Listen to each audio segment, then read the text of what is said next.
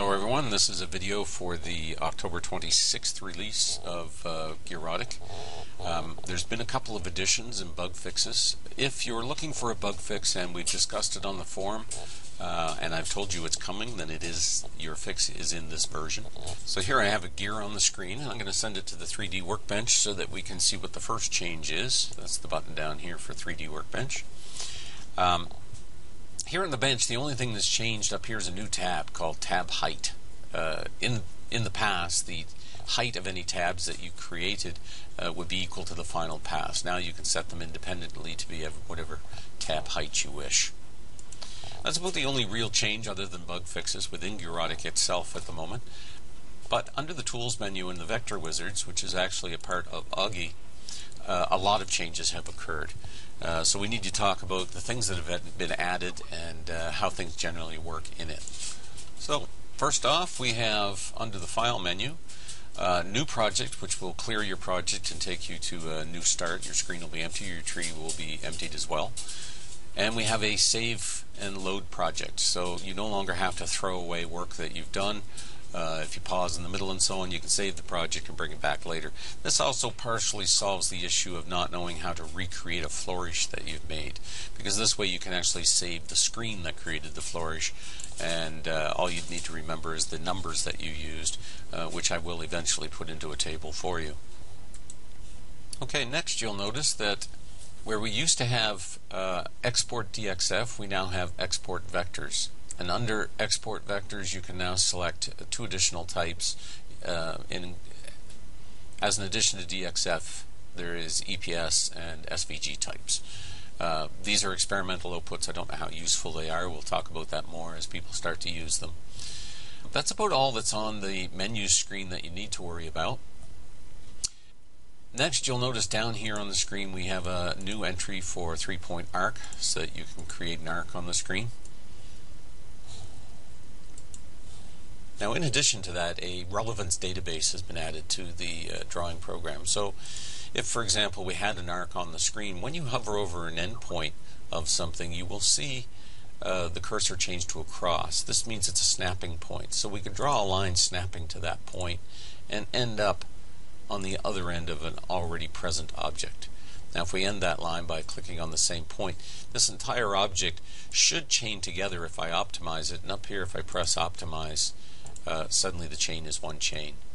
This could be important in the future as the program is going to deal pretty heavily with chain objects, uh, and we'll discuss that more when we get there. Now, people have asked me about trimming things like a flourish. So let's take a look at the new trimming tool as well. Uh, down here it looks like a pair of scissors uh, is a stomping tool and there's a couple of up down arrows beside it and so on. Um, this puts you into a special trimming mode. If I press it it'll give me a warning on the screen saying select only one chain. I haven't selected a chain so it won't allow me to go into the stomping mode. If I click on a chain to select it and then hit stomp I'll come up with a shape. Now that shape is a cursor. It's not actually part of the drawing or anything else. If I zoom in and out the drawing the shape stays the same size. And this cursor is meant to operate like a French curve. Uh, it's meant to smooth out, trim, and do several jobs. When it's active on the screen, a left hand click will uh, unionize the two objects. So it'll add to that drawing anytime I click the uh, left hand mouse button. If I click the right hand mouse button, I will subtract from the object. So I can trim an object by uh, using the right hand button. So between the two of them, you can begin to build objects out. Now, if at some point uh, you clip an object and you orphan a chain, you can see a chain just appeared here which is uh, not selected. Uh, that becomes a chain in your drawing. You can't stomp on it to change it because it's not a selected chain. And you can only stomp a single chain at, the, uh, at a time. Now, obviously, you wouldn't always want to stomp a chain with this particular shape. Uh, this shape can be handy. If you hold down the control key and move your mouse, the shape rotates. So you can rotate your stomp to any direction or orientation and then click to remove or add to a chain. Uh, again, you wouldn't always want that shape though, so if you roll your mouse wheel, you can change the shape to a new stomp. And there are several included in here. Now, it could be that none of these shapes are ones that you'd be comfortable editing your chains with. So you can also add to the stomps yourself. There's a file called french.dxf in the main folder uh, with which you can actually create your own stomps. But for the most part, there's usually a stomp here which will do close to what you want. Uh, the idea is to add more uh, types of French curves. It'll give a more pleasing curve uh, that you can clip in and out of objects. By zooming in and zooming out, it means that you can use effectively a stomp in very tight situations as well as in very uh, macro situations when you're zoomed out and looking at a very long curve. Uh, let's take a look at a flourish and how that works with trimming. I'll start by doing a file new project which clears us out. I'm going to hit flourish. It asks me to draw my flourishing layer. Uh, something I didn't mention in the last video on flourishes is if I uh, draw a bounding rectangle for a flourish, I don't have to stop there. I can actually put other objects inside the main generator and that tells it to stay away from those areas. So if you had a letter or a font in here, uh, surrounding those things will tell it to ignore them. They don't have to be squares, they can actually be circles, or you can even take lines and uh, draw shapes that you don't want to have filled. Um, it doesn't always follow your wish, uh, but it tries its best. So let's try a flourish now. Uh, and let's try a complex one of maybe 12 and see what we get. And as you can see, the flourish that was generated is trying its best to ignore the areas that I have blocked out, telling it those are actually important background images that I have, don't draw over them. Okay, I'm going to turn off the flourishing layer here so that all those guides disappear. And here we have our flourish. Now, people have asked me how to trim it. Again, that's with the stomping tool. So we'll go to our, we'll first select the vine and then we'll go to our stomp. And I'm going to hit my uh, control key and move up to my trimming tool. Now by zooming in on a uh, on a group like this, if I right click, it will snip off that piece of the tree and now the flourish has become more than one chain. And you'll notice if I try to edit that smaller uh, loop, it will not cut. But if I try to edit the larger loop, it will add into it or subtract from it depending on what I tell it to do. This is because it always picks the remaining largest area of chain to be the one which, which is still the subject of our trimming. It should have stayed red. That's a bug. I often discover bugs while I'm doing these videos. So that will be fixed on the next version as well.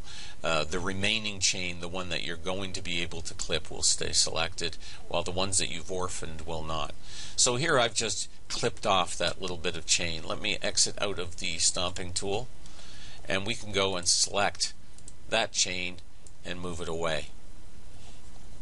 We could also select this little piece that I made and just simply delete it with the scissors. So now we have this little section of vine. I could take it over here for example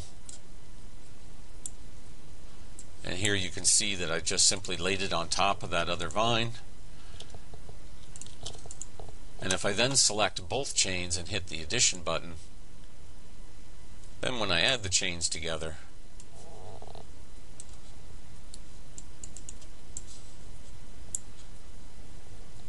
can see we've joined into the chain seamlessly enough that it's hard to tell where we joined it in.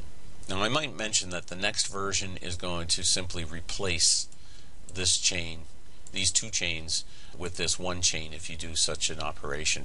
Originally I put it onto its own chain. Up here it's called addition, for example, when I created this one. And I did that because we didn't have a redo and undo. Uh, but we now do. Uh, so I will be changing the program on the next iteration so that when you do vector operations, it simply replaces the one that you're working on rather than giving you another copy, which is the uh, product that you've asked for. Now, the last thing that uh, really has changed is we also have an offset uh, button so that you can select a chain. So here you can select the uh, distance of offset, how to select winding. This can be important um, in terms of how it pockets or how it offsets objects which are inside a chain when you selected multiple chains. We'll talk about this more as we get into extrusion in the future. Um, here you can select whether you want corners, miters, or square ends on something that you're offsetting.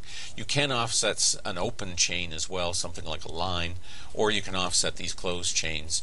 And uh, down here, you're telling it how to do an open vector. If you were to offset a line, for example, the ends of the line could be closed but square or round. Um, so you might want to play with those a bit on offsetting various things to see the effects that you get. Um, offsets can take a little while. We have a progress bar now that shows you how long something is going to take. And now you can see the effect of the uh, offset that was done on this vine. Anyway, those are the changes so far. The program is uh, being steered in a direction so that I can do uh, kinetic visualizations and kinetic simulations of things like veins for tickers. But I need to get a few more drawing tools down pat before I do so. Uh, so you can expect this portion of the program to change fairly frequently. Um, and I wouldn't expect the exact usage to stay as you've seen it in this video. Um, I just wanted to do this video to point out to people that are using it how the uh, tools work and how Stomp and so on works. Uh, you also have uh, Control Z for undo uh, where you can take the program backwards and you can go several levels. You can also go Shift Control Z to bring things back if you have undone them. Um, once I add a few more tools and get it to the point that we can draw veins and so on, uh, then we'll begin to discuss how the kinetic simulations are going to work. All right, thanks a lot. Hope you enjoyed the video and uh, the vector processor.